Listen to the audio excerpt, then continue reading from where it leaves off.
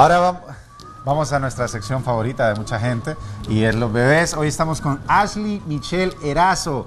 Hola Ashley, ¿cómo estás? Y gracias a Luis Erazo y Melissa Sierra por traernos a la guapa Ashley que nos acompaña en nuestra sección de cosas para bebés. Kenneth y hoy vamos a hablar un poco de los remedios caseros para curarle esa tos terrible Sí. que los niños pues frecuentemente les dan por los cambios de clima. ¿Y el primero que tengo aquí Tenés uno ahí, pero es que estos remedios, y para que los padres nos entiendan, a veces no hay, no hay necesidad tampoco de salir corriendo. Sí. podemos hacer eh, estas infusiones y tampoco de darles medicinas a nuestros hijos que son agresivas. Esos antibióticos que sí, Sí. son bien pesados para los niños, especialmente Y lo para los más de pequeños. Que lo tenemos en la en cocina nuestra cocina, veces. en nuestra casa. Pues te cuento que este remedio, el primero que tengo acá, es para la tos seca y bronquitis, que el más clásico que les dan pues las mamás o las abuelitas es agua tibia con limón y miel.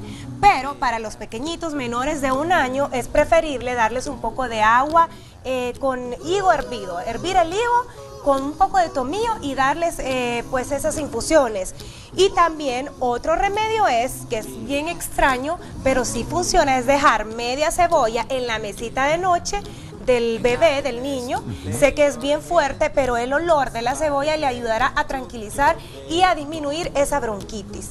También, Kenneth, te cuento que hay que darle un poco de, de agua fría, sorbos de agua fría, para evitar cualquier inflación, inflamación o cualquier eh, pues temperatura que se les pueda dar. Excelente. Bueno, hay una tos que es bien mucosa y es escuchar la mucosa "Uh, uh", que generalmente eso nos preocupa a nosotros Sí. los padres. Pues hay un remedio casero que ustedes lo pueden hacer y es con jengibre, una rodaja de, de cebolla y tomillo. Nosotros vamos a hacer una infusión, la vamos a poner a hervir y lo que, lo que resulte de esto se lo vamos a dar a nuestros hijos. Créanme que esto les ayudará a suavizar la mucosa y les abrirá más los pulmones de tal manera que se escuchará menos ese cajón que es... uh, uh, uh. Ese- Kenneth, el jengibre tiene propiedades milagrosas. Así es. Buenísimo también para los adultos, si están malos, o sea, están enfermos de la garganta, si andamos Excelente el jengibre. medios eh, afónicos, eso nos va a ayudar muchísimo. Otra receta, Loren, que es bien ance- ancestral y es de nuestras abuelas, Sí. es dejar sudar una papa o dejar sudar también rábano, cubrirlo de azúcar, en la noche lo dejas sudando y en la mañana lo que resulta de ello se lo damos que es como un jarabe, lo jarabe. aplastamos así y ese jarabe se lo estamos dando a nuestros hijos durante todo el día. Esto también es milagroso, son recetas que nos enseñaron nuestras abuelas y que funcionan bastante. Y que sobre todo, como tú decías, Kenneth, al inicio, todo eso lo tenemos. Todo esto hogar. generalmente lo tenemos en nuestra casa.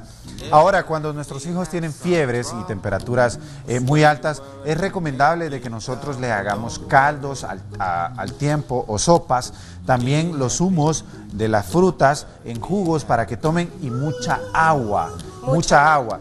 Pero cuando las temperaturas exceden de 39 grados centígrados, y esto lo recomiendo yo porque me ha pasado, eh, es- es bueno que le demos un baño inmediatamente de agua fría y le hagamos compresas así en la frente y en el Toallitas de agua pectoral. húmeda, Sí, ¿sí? de- a- con agua húmeda para bajarle la temperatura. Sí. Eso nos va a ayudar. Muchísimo. Es excelente. Usted puede, usted tiene esto en su casa, usted lo puede hacer. No necesariamente hay que dar tratamientos agresivos.